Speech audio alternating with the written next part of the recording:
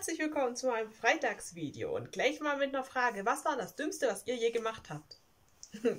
Denkt jetzt gut drüber nach. Schreibt es mir gerne auch in die Kommentare, wenn ihr wollt.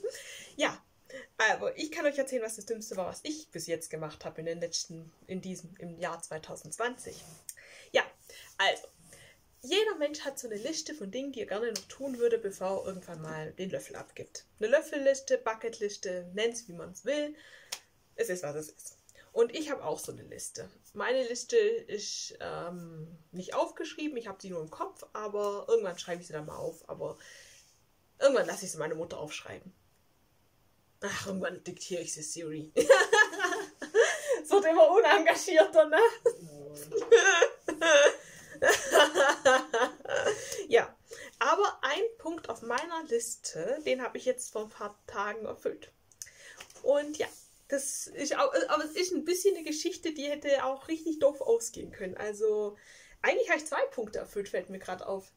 Mal was richtig doofes tun und, äh, und äh, was riskieren und, und, äh, und die andere Sache. Geil, ich habe zwei Sachen abgehakt. Fällt mir gerade auf. Ja, also, kleine Vorgeschichte, damit ihr wisst, worum es geht. Also meine Liste ist ein bisschen ungewöhnlich. Sie, ist, sie hat nicht sowas wie ich will Bungee-Jumping springen machen, sondern ähm, sie hat sowas mit Revoluzertum zu tun. Aber um es mal ganz ehrlich zu sagen, Shikivara würde sagen, Mädchen, du bist kein Revoluzer. Wo ich mich total revoluzermäßig fühle, ähm, ist zum Beispiel, wenn ich, wenn ich mal zu meiner Mutter sage, nein, ich gehe heute Abend ins Bett ohne Zähne zu putzen dann fühle ich mich wieder totale Revolution. Wenn ihr wüsstet, fühle ich mich schon wirklich wie King, wie King Käse. Das ist nicht normal. Und ja, und das ist so der Standard, an dem wir jetzt mal in dem Liste bitte messen müssen. Das ist, ähm, um es mal kurz klarzustellen. Ja, auf jeden Fall war es dann so, dass ich, seitdem ich ein Kind bin, ähm, mein Vater hasst Parfüm.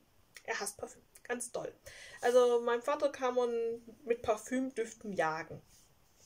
Und so ist schon, als ich zwei Jahre, also ich, da war ich ja noch gar nicht hier, aber als ich schon vier Jahre alt war, ist in meiner Liste entstanden, ich will eines Tages mir ein Parfüm kaufen. Das war so diese, das war so dieser Punkt auf meiner Liste, den ich irgendwann mal erfüllen wollte. Ja, dann habe ich vor kurzem angefangen, Betty in New York zu gucken auf, auf Six und ähm, habe das dann aber guck's im Online und da ist unglaublich viel Werbung. Unglaublich viel Werbung. Also es ist unglaublich wie viel Werbung. das kann man nicht, das kann man nicht so oft betonen. Ich sag's jetzt nochmal, da ist unglaublich viel Werbung. Und eine dieser Werbungen war die Werbung für das Parfüm Hugo Boss Alive. Und da war dieses Lied äh, dabei und überhaupt. Und ich weiß nicht, der Flair hat mich irgendwie in dem Moment dann gepackt und ich fand es total toll. Ja, jetzt haben wir Corona. Also kann man nirgendwo und auch Maskenpflicht. Also gehe ich nicht raus. Was machst du? Bitte? Was hast du da gerade gemacht? Ich habe gerade zwei Minuten das Fenster gehabt, aber ich stand direkt davor. Weißt du, das bringt doch nichts direkt davor zu stehen. Die Viecher, die kommen ja jetzt nein, weil. Da gibt es keine Viecher. Oh, irgendwann müssen wir dieses Netz echt mal austauschen, damit dieser Streit endet. Ja. Ja, das müssen wir echt machen. Nee, warte mal, müssen wir nicht. Da war ja was. Genau. Ja. Kommt mir gerade wieder in Gedanken. Autsch. Ähm, egal. Ähm, zurück zu meinem Ding. Ähm, entschuldigt, Streitereien mit meiner Mutter. Alltag. So ist das halt. Ähm, auf jeden Fall war es dann so, dass mich dieser Flair, wie gesagt, gepackt hat und dass ich das Parfüm dann gerne hätte testen wollen. Aber ich kann ja nicht raus. Also, was macht kleine Lenchen? Ich bin erstmal auf ins Internet gegangen und habe geguckt, wie viel das kostet. Da habe ich gesehen, äh, nee, ist mir zu teuer. Also, nächster Versuch, ein Imitat davon suchen. Und dann bin ich auf Seiten, dann bin ich auf, die, auf Seiten gegangen und habe gesucht, ob ich ein Imitat davon finde. Habe eins gefunden, das dann auch preislich ganz gut war. Und dann habe ich mir so überlegt, kaufe ich mir das jetzt. Dann habe ich auf jeden Fall erstmal das Geld auf meine, auf meine Kreditkarte draufgeladen, weil ähm, egal wie, so musste ich, es ging ja nicht anders. Und ich habe eine Prepaid-Kreditkarte, also habe ich Geld draufgeladen und habe ähm, aber ein bisschen mehr draufgeladen, weil ich, man sagt immer, Versandkosten, man weiß nicht. Rechne immer noch mal mit irgendwas, was kommen könnte. Also ich dann, bin ich dann zu meiner Mutter nach unten und habe ihr das erzählt. Mama hat gesagt, so Imitate sind gar nichts, wenn dann nimm das Original.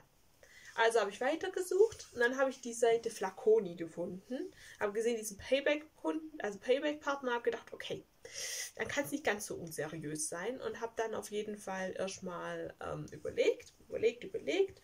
Und dann habe ich gesehen, dass das da gerade einen Rabatt gab. Da war über 5% und so und damit war dann das Teil, hat mich dann, glaube ich, 28 irgendwas gekostet.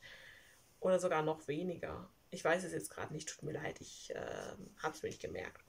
Und dann habe ich mir gedacht, okay, ich bestell's. Dann habe ich das bestellt. Ich habe mir ein Parfüm bestellt, obwohl ich geruchsempfindlich bin ohne Ende, auf den Verdacht hin, dass es mir vielleicht gefallen könnte. Ja, das war so mein. Ja, ja. ja, das ist so.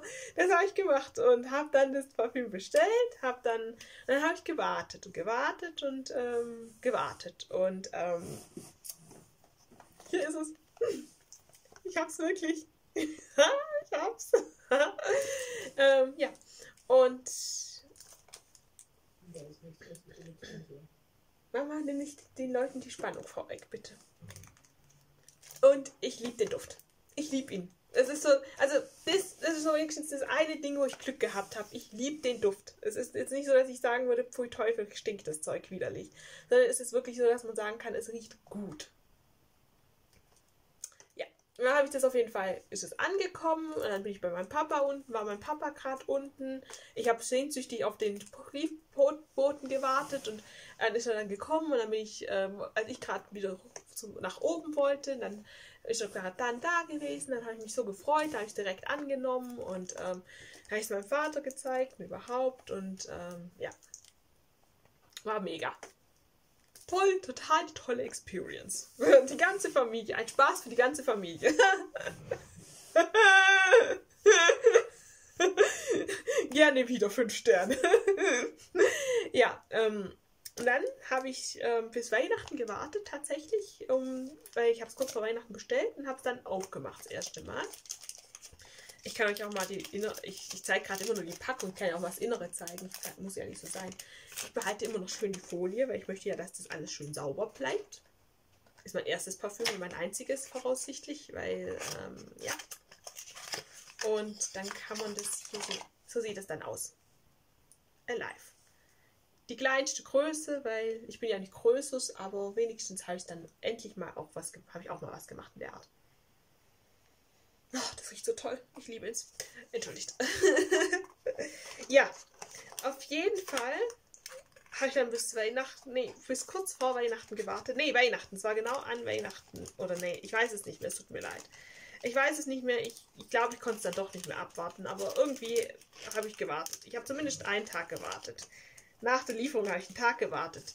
Bitte erkennt diesen einen Tag Wartefrist an. Ich möchte dafür Respekt haben, wie Boris Becker dafür, dass er damals Wimbledon gewonnen hat. Oder so wie unsere Nationalmannschaft dafür, dass sie die, den WM-Titel gewonnen hat. Will ich einen Respekt dafür haben, dass ich einen Tag gewartet habe? das ist echt das ein Gleichnis, ne? Also auch eine Leistung. Ja, und dann habe ich das Parfüm auf ein Stück Wattetupfer gesprüht.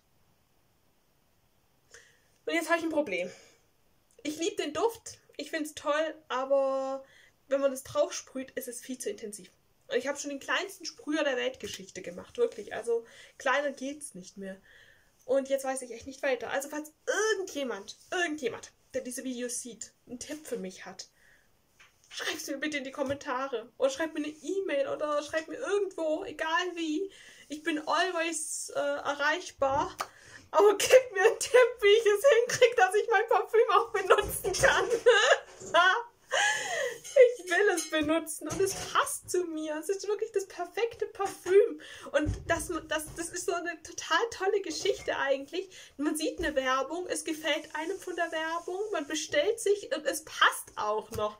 Ich meine, die Chance ist ja wirklich 1 zu eine Million, weil es hätte ja auch sein können, dass das total das widerliche, stinkende Zeug ist. Könntest du bitte nicht so kleppern? Hm, kein Problem. Ja, auf jeden Fall. Bitte, bitte, wenn irgendeiner einen Tipp weiß. Hilfe.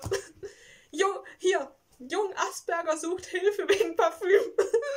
Das bin ich gerade, also helft mir. Helft mir da draußen. Helft mir, mir zu helfen, dass ich mein Parfüm nutzen kann.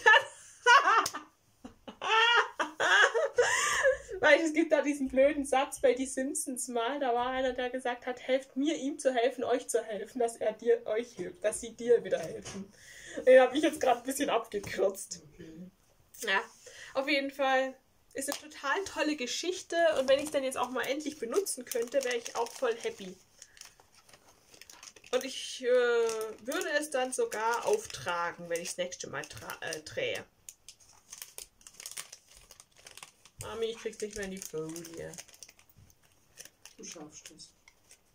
Nein, weil ich zitter. Wie ein Aal. Dann mach später und frisch Abspann machen. Achso, ja, stimmt.